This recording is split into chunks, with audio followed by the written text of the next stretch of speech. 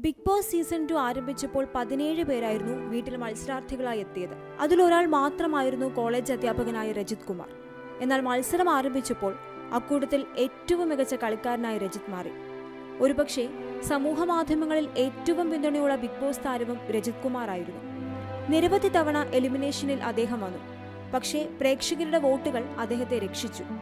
ഒരിക്കൽ മോഹൻലാൽ തന്നെ രജിത് കുമാറിനോട് ചോദിച്ചു പുറത്ത് എന്താണ് നടക്കുന്നതെന്ന് അറിയാമോ? എന്ന്. രജിത്തിന്റെ പിന്തുണയുടെ ഉദാഹരണമായിരുന്നു അത്.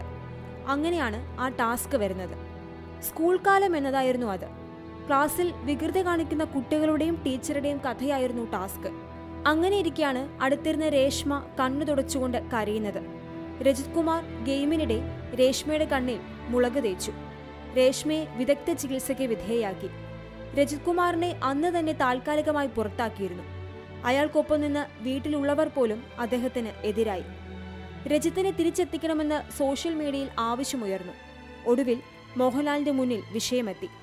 ബിഗ് ബോസ് ഹൗസിലെ എല്ലാവരുടെയും ആഗ്രഹം രജിത് കുമാറിനെ തിരിച്ചു കൊണ്ടുവരണമെന്നതായിരുന്നു. മോഹൻലാൽ അഭിപ്രായം ചോദിച്ചപ്പോൾ എല്ലാവരും അക്കാര്യം പറയുകയും ചെയ്തു.